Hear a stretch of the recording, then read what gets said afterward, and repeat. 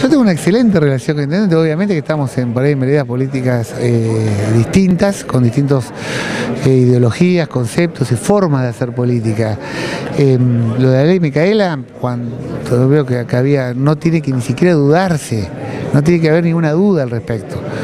Bien, la adhesión tiene que ser de forma pero automática, no tiene que ni siquiera eh, que estar en un debate profundo, es algo que, que hoy me parece que nos merecemos todos los ciudadanos de la Argentina. Llamó la atención su apreciación cuando recién había ingresado al Consejo Deliberante esta- este proyecto de ley de adhesión.